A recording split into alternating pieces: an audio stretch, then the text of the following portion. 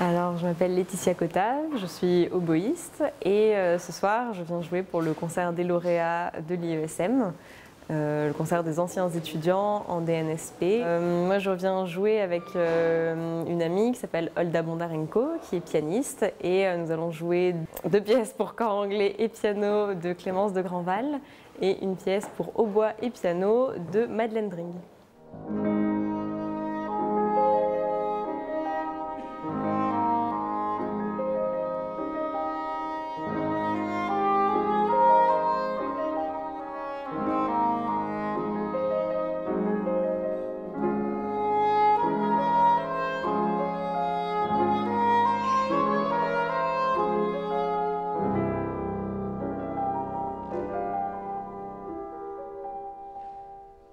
Moi, je suis arrivée à l'IESM en 2017, euh, dans la première formation au DNSPM.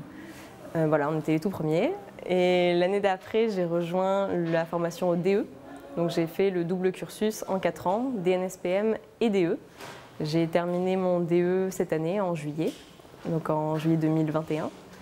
Euh, actuellement, je suis la formation ATEA pour euh, passer le, concours d'assistant euh, d'enseignement artistique de la fonction publique, donc qui est aussi dispensé par l'IESM. Donc euh, je garde un lien avec l'IESM à la fin de mon parcours.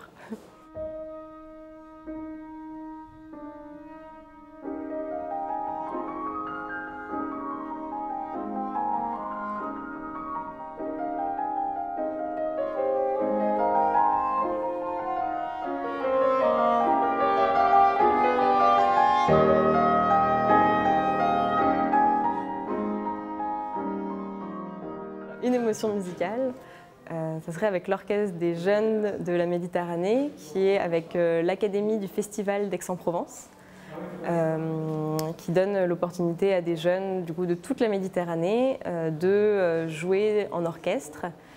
c'était au Grand Théâtre de Provence, donc à côté du conservatoire, et c'était le concert avec Kazushi Ono, et c'était voilà, une expérience incroyable de pouvoir jouer avec ce chef au milieu de jeunes de toute nationalité du pourtour méditerranéen.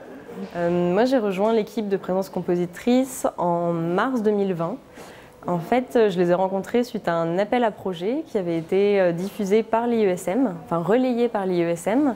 Présence compositrice, c'est euh, aujourd'hui un centre, c'est le centre présence compositrice qui a pour mission de valoriser, de promouvoir les compositrices et leurs œuvres de toute euh, époque et de toute nationalité.